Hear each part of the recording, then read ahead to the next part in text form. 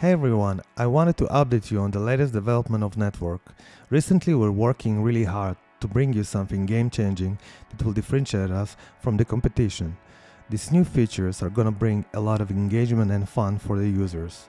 But instead of me talking about it, I will let the product speak for herself. Hello, please introduce yourself. I'm Ruler, the boss around here. I strive for balance, creativity, and leading this community to prosperity.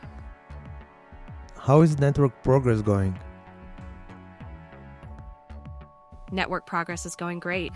We've made significant advancements, including migrating to Unreal Engine 5, 2 and integrating interactive AI.